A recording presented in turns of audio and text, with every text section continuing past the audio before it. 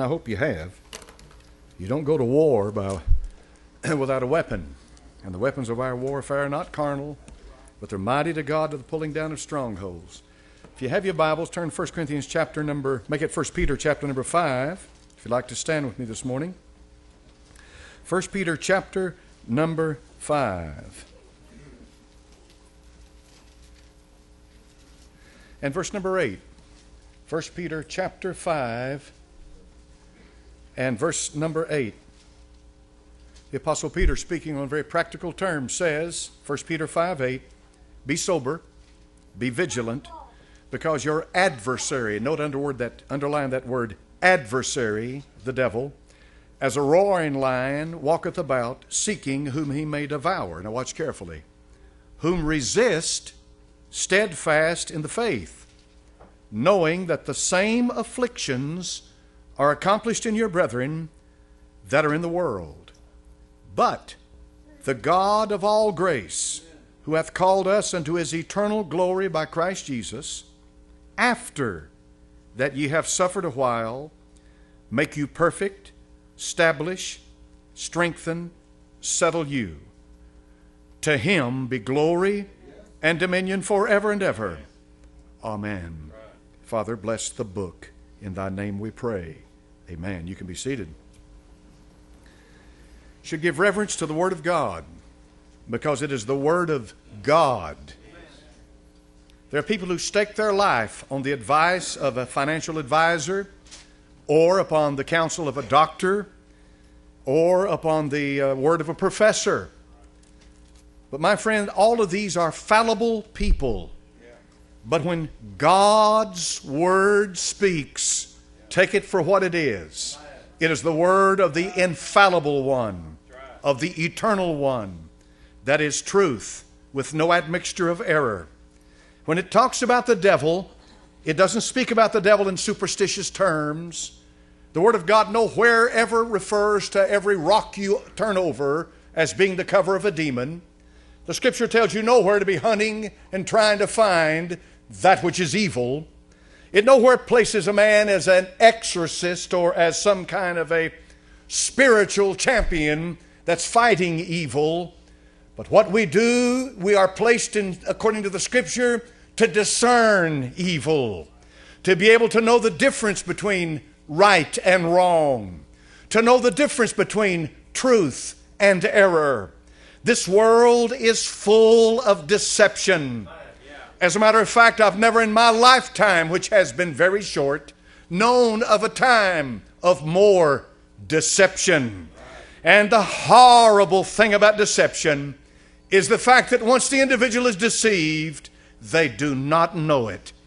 And so, therefore, you must awaken them, or you must be able to shine the light into their darkness, or you must be able to get their attention. Somehow or another, you must be able to reach them, for they will never find their own way out of deception because they don't even know they're deceived. So they have no reason to try to find their way out of it.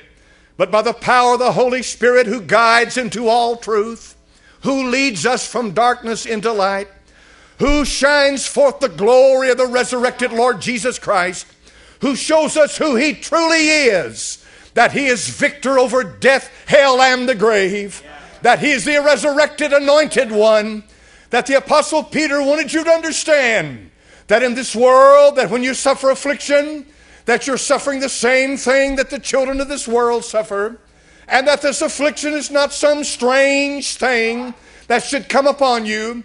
In the first chapter of First Peter, the Apostle Peter was talking to people who were suffering at the hands of Nero, the mad fool that burned Rome to the ground and fiddled, they say, while it burned. And then he blamed it on the Jews and the Christians. He had a reason for what he did. And so, my friend, what you're reading here in the book of 1 Peter, probably in all the Bible, is one of the greatest books about suffering in this world and about why we suffer and the purpose of it. But the apostle warns you that we have an adversary that uses that. And so, therefore, we're not ignorant of his devices. We need to understand that if you try to match the devil with your intellect, you've already lost. If you try to match Satan with your experience, he's way ahead of you. If you try to match Satan with any contrived thing that human beings try to use, you're going to lose. And so, therefore, your only true weapon against the devil is the truth. And the Bible said, You shall know the truth, and the truth will make you free. And so, therefore, he said, Sanctify them through that truth. Thy word is truth. So the book I have in my hand this morning is going to tell me what I should, uh, what I should, uh, what I should skern, what I should get away from, and the course that I should walk, and how I should live. And so, my friend, this morning I'm going to preach you a method, a, me- a, message about the methods of deception that Satan uses. For he is an adversary, and he is going about seeking whom he may devour.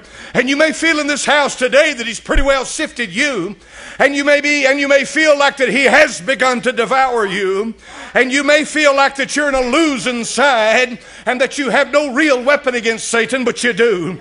But you really do. Because one of his greatest deception is his bluster, is his boasting, is his arrogance, is his bragging. He has to do it because he's the father of pride. He's the father of all the children of pride. It's got to come out of him. He's got to let you know how great he is. And so that's one of his greatest downfalls. So, my friend, when we look at the methods of deception in 1 Corinthians 15, verse 33, here's the first one. And what is that, preacher? Wrong crowd. Be not deceived. Evil communications corrupt good manners. I would choose who I go with very carefully. I'd make certain that that boy that I'm dating or that girl that I'm dating, my friend, is not out here smoking dope and shooting pills and taking methamphetamines and running with a bunch of kooks. I'd be very careful. You say, well, I'll convert them. No, they'll convert you. And when you run with the wrong crowd, it's going to rub off on you. You can't wallow with hogs without smelling like one. And you can't run with them without talking like one. And it will drag you down. You must separate yourself from them, especially in this culture today. The second thing, my friend, Satan uses for deception is the wrong wisdom. In 1 Corinthians chapter number 3 and verse 18, the Bible says, Let no man deceive himself. If any man among you seemeth to be wise in this world, let him become a fool, that he may be wise. For the wisdom of this world is foolishness with God. For it is written, He taketh the wise in their own craftiness. And again, the Lord knoweth the thoughts of the wise, that they are vain. So, all of the rational wisdom that the world has to dish up and oh, how they want to counsel you, and they want to tell you what the meaning of life is. They want to tell you how that you ought to set your life and how you ought to understand things, how you should accept this and reject that. Oh, they are full of counselors. And the Bible says that they're vain. The scripture says, Oh, vain man. Their counsel is the counsel of hell that leads to destruction. I know that I look like a fool in the eyes of the world. I'm not out here to win their approval. I'm not seeking their recognition. And if they give it to me, I'll throw it away. I'd never want you to know that I'd sunk to such a low level. If the world ever starts talking good about me, I'm in bad shape. You can be certain of that. I am an enemy of the devil. I am on one side and he's on the other. And according to the scripture, if you don't think according to the word of God, you're a fool. And your thoughts are vain. Oh, vain man. And I'll tell you today, they are pumping it into you through that filthy tube you've got in your house or through the radio or through the school systems, the educational establishment, through the, through the social interactivity at work, through everything that you come in contact day in and day out.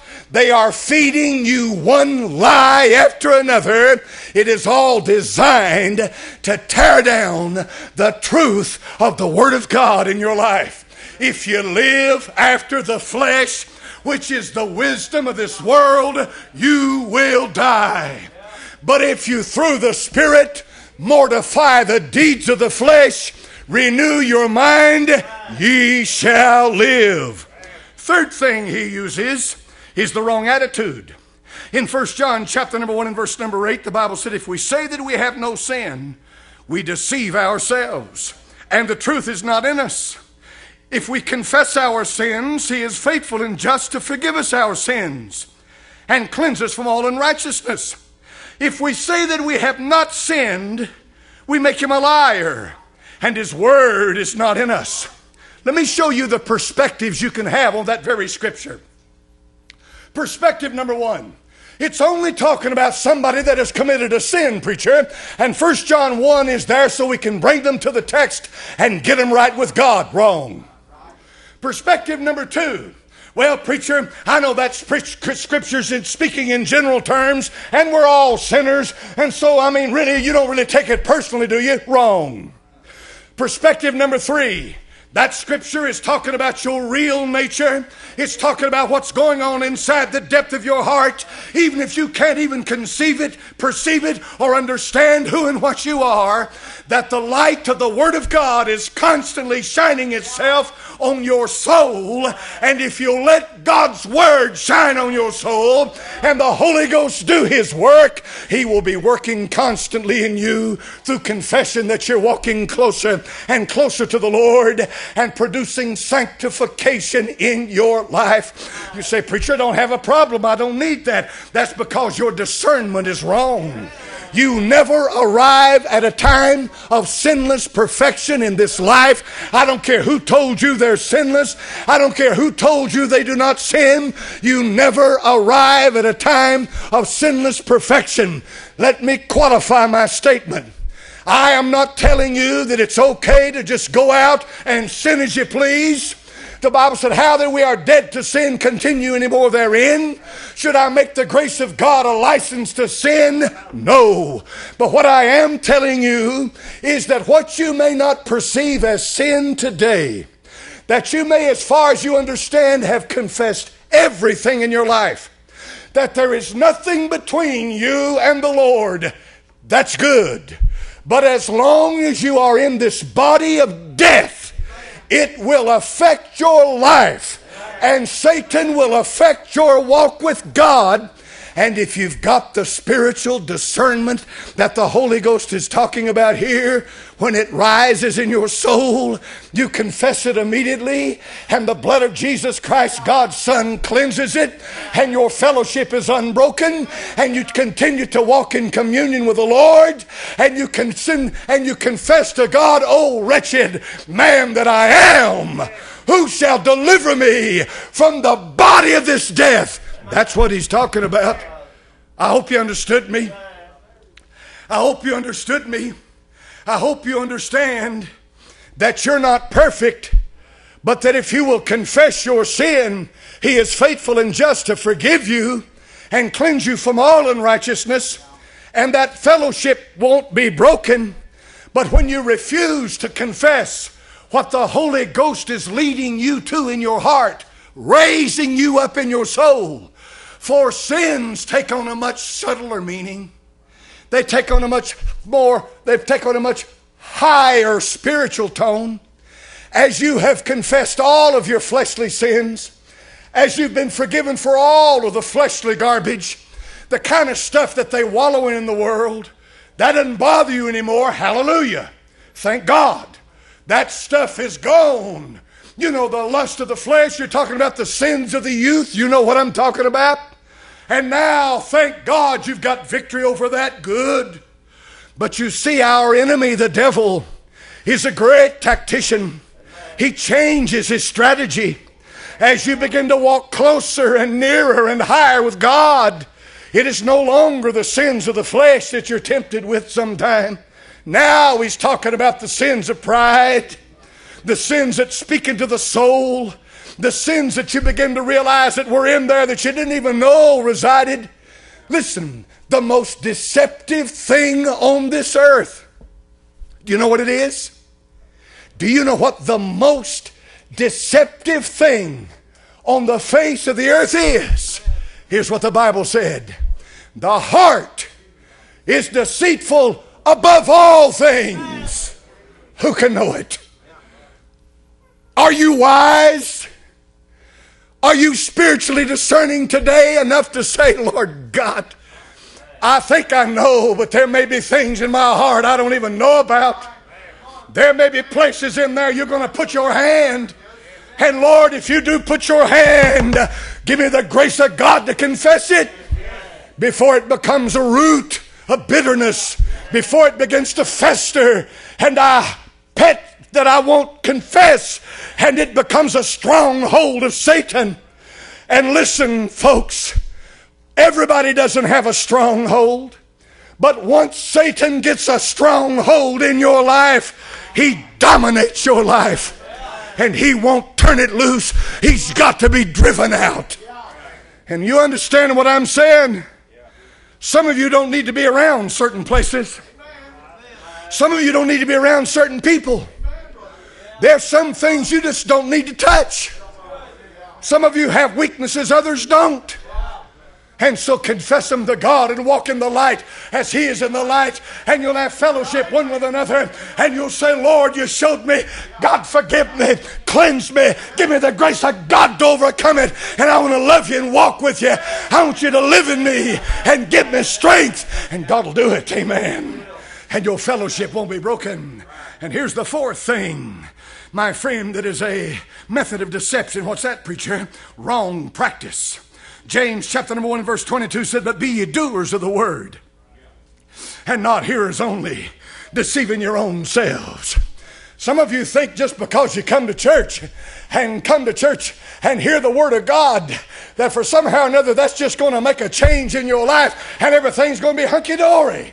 But the truth of the matter is, it only harden you if it doesn't soften you. Because one way or the other, you're either going to receive it or you're going to reject it.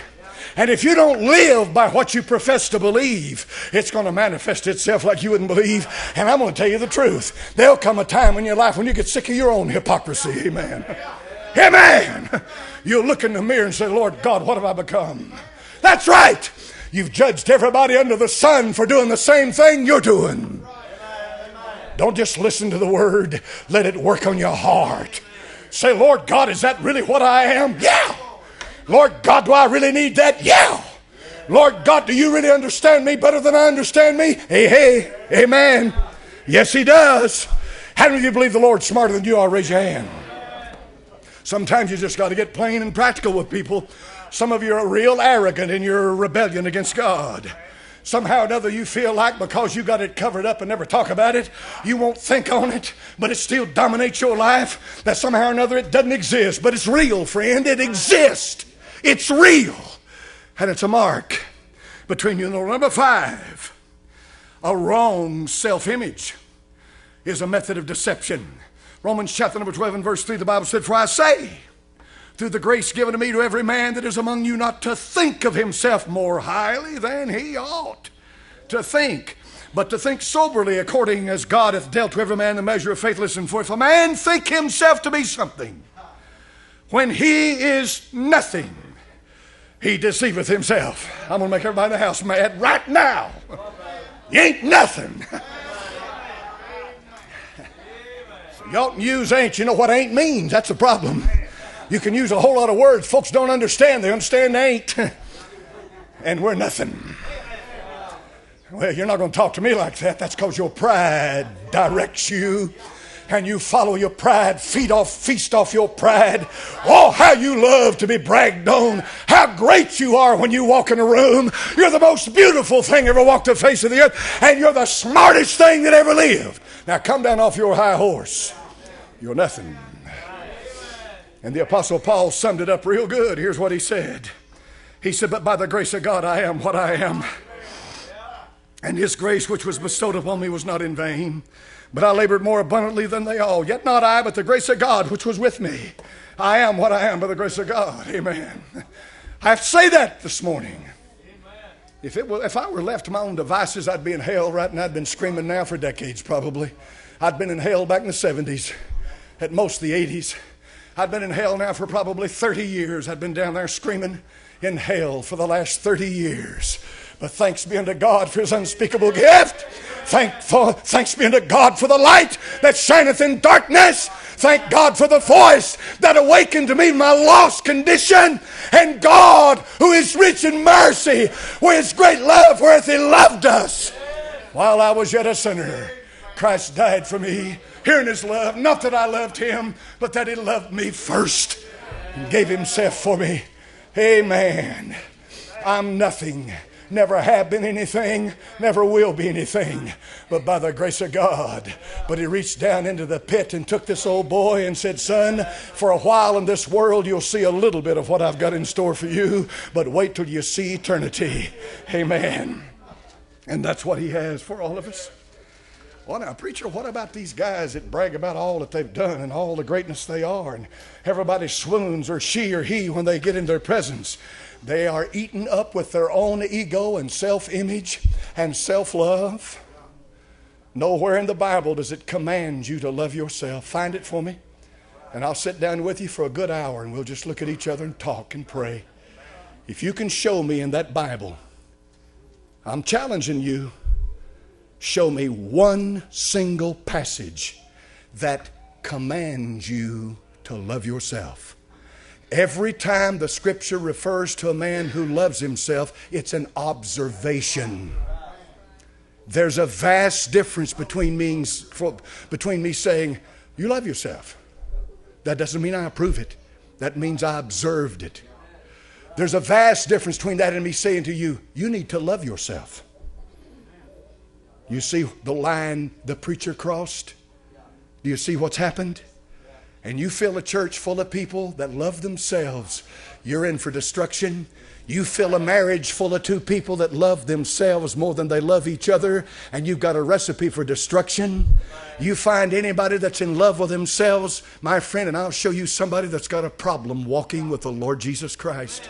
Nowhere in the Bible does it command you to love yourself. I put that challenge out a long time ago. I have yet to hear my phone ring one time. I have yet to get the first email. I have yet to get the first reference, the first response from anybody. Do you know why? It's not in there. It doesn't exist. It's psychobabble. It's not the Word of God. Wrong harvest. Galatians chapter number 6 and verse number 7 says, Be not deceived. God is not mocked. For whatsoever a man soweth, that shall he also reap. I didn't say that. God said that. You just thought the church was a good place of feel good and you could just live any way you wanted to and do anything you pleased and and God's just this big old kiss old man up in heaven that's just going to throw his arms around all of you and welcome you home to heaven when you die. But I'm sorry, you're not going to mock him. If you sow to the flesh, you'll of the flesh reap corruption. You will reap what you sow. Well, what about you, preacher? Same here. God's no respecter of persons when it comes to this. You'll reap what you sow. You say those are rough words, preacher, but they're true. You're not going to mock God. You're not going to mock Him. You're deceived if you think you can live any way you please and go to heaven. And a man is a bold faced liar that says that this preacher tells you you can get saved, once saved, always saved, and live any way you want to and go to heaven. You're a liar. I don't believe it. I believe that once you are born again by the grace of God, you belong to the Lord Jesus Christ. And that if you try to live any way you please, He will chasten you and he'll deal with you as with a son. And if you don't let him deal with you as a son, he'll turn you over to the devil, 1 Corinthians 5. And goodbye, you'll have no time left in this world. And that's who John was talking about in 1 John 5 when he said, I see a brother sinning a sin unto death. Dear Christian friend, don't sit back on your eternal security and think because you mumbled some sinner's prayer 30 years ago that the, your life is in your hands to live any way you please. No, sirree, it's not. He's the Lord. He's either going to be the Lord of your life or you're not going to live once you become a son of God. I'll say it one more time. He's the Lord, which means master owner. Why call you me Lord, Lord, and do not the things which I say? He's the Lord. He'll either be the Lord of your life or He'll take your life away. That's eternal security. because He says He will take you lest you be condemned with this world. Amen. Finally, methods of deception, wrong future. 1 Corinthians chapter number 6 and verse 9, know ye not that the unrighteous shall not inherit the kingdom of God? Be not deceived, neither fornicators, nor idolaters, nor adulterers, nor effeminate, nor abusers of themselves with mankind shall inherit the kingdom of God. Somebody told me that yesterday they had that Knoxville, who has its own Mardi Gras now, don't know who started that, but they have they had a they had a they had a sodomite parade down Gay Street yesterday. Is that correct? And that our illustrious mayor was the what do you call it? Whatever.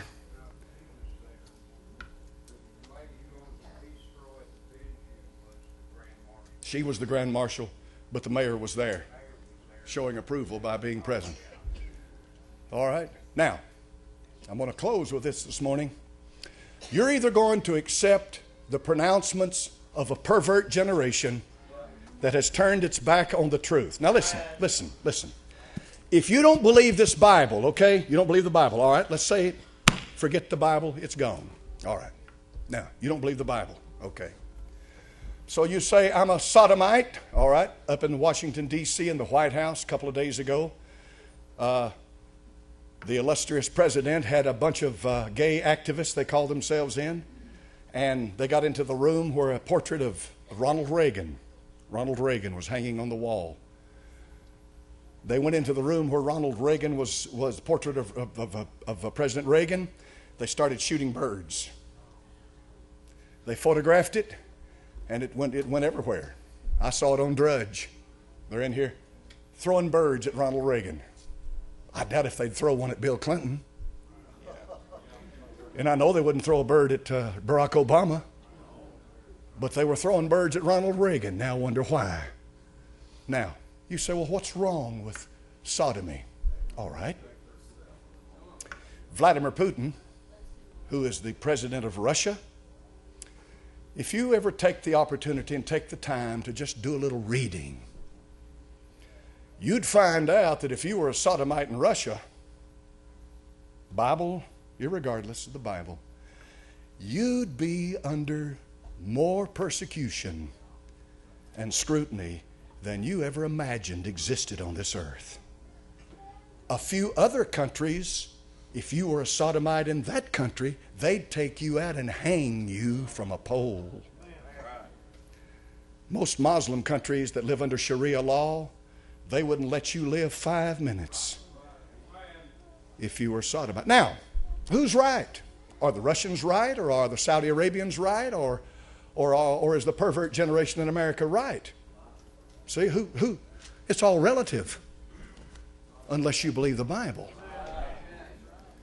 Now, 1964, when I graduated from rural high school, I know we probably had had uh, I hate, I don't like the word gay. Had sodomites in our school, and I know that we probably did. We didn't know who they were because they, they, they, they kept undercover. so they didn't, they, didn't, they, didn't, they didn't let people know who they were. Why? Because if you're not my age, you can't imagine the America that I lived in 1964. You can't imagine. You can't imagine the America I lived in in 1964. You can't. You can't. You can't do it. Because back then, it was a pariah, it was a pervert, it was a filthy, filthy sexual abomination. That's what it was. Of course, it is, according to the Bible, it is, but I'm just trying to show you how that cultures change, countries change, times change. So, what am I going to be 25 years ago? If I live to be 175, Abraham's age, what's it going to be then? What do you think it's leading to? What's next? The North American Man Boy Love Association, NAMBLA. You know what they're pushing for, don't you? You know this coach up here at Penn State that just had 45 counts of child sexual abuse charged against him and he was found guilty? Apparently, he's going off to prison the rest of his life. But now look, there is an organization in this country that is pushing for that very thing to be legalized. I mean, if anything goes, if you're wide open, you've got an open mind, blah, blah, blah, where does that lead? What's next? What's next? What's next? What's next? The only thing that keeps you from becoming a stinking animal, wallowing just like a hog, is that book right there. That book. That book. That book. The book. The Biblios. The book. The culture of 1964, the United States of America, was pretty close to the book. The culture of 2012, United States of America, is far from the book. Where am I supposed to go? Am I just going to fly this way and fly that way? I'm this today, I'm that tomorrow. What are you? Are you like that? Are you this today and that tomorrow? You don't have a head. Whatever's pumped into it, whatever just fed, spoon fed to you day in and day out, is that what you are? Or do you have a book you believe? Which one is it? Which one is it? Which one is it? Father, in Jesus' name, use what I've said this morning. It's time, Holy One, that thy people took courage in what they believe and what they are, and that they stand for the truth and not for every wind and doctrine, and not for some perverted, mis- misguided understanding of the word love, but for the truth. In Jesus' name we pray. There may be somebody in this house this morning, Lord, that they fall and pray, Lord. Satan's working them over, he's sifting them. And they don't even think there's a place of forgiveness for them, but Lord, there is. There may be some in this house today is beginning to wake up, God. They're right now starting to really wake up and realize how much they've been brainwashed by this pervert culture. And they're beginning to rejoice in the truth. In thy name we pray. There may be somebody in this house this morning, Lord, that is completely, totally lost. But the light is starting to shine. God grant that they'll watch it, listen to it, and follow it. In thy name we pray. Amen. Stand up and sing this morning, brother. We got? Page 333 in your All American Church hymn.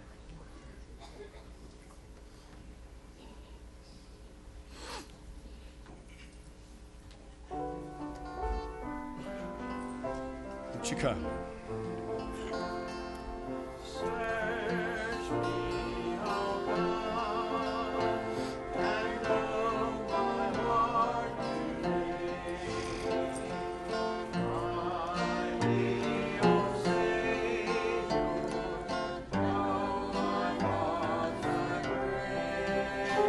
Won't you come?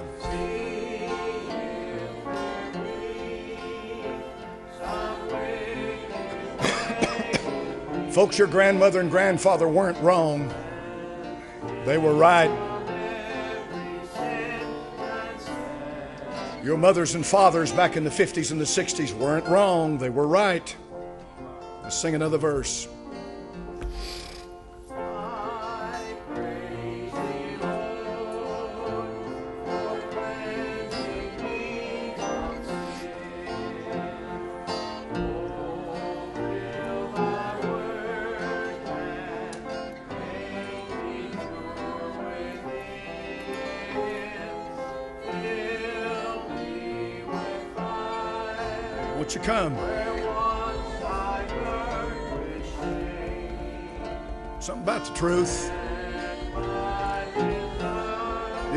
Said it ring it rings clear like a bell. Truth does.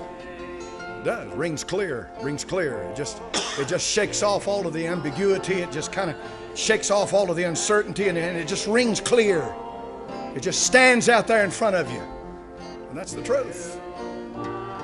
Truth. The truth.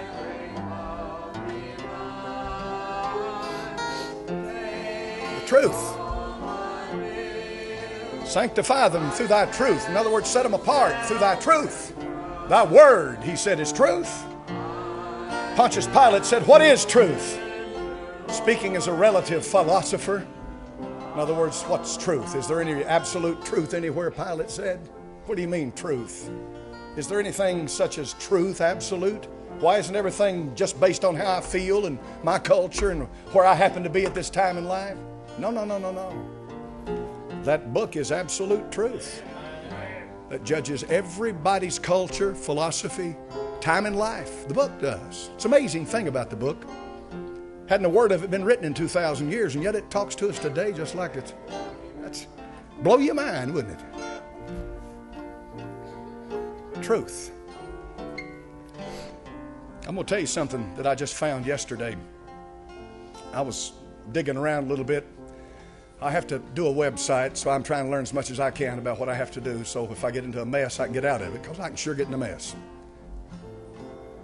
Every time you log onto a computer and watch a, a, a computer screen, you're looking at a, a web browser is browsing the internet. You may be using uh, you may be using Internet Explorer. You may be using uh, Opera. You may be using Firefox. You may be using Internet uh, uh Safari, the Apple program.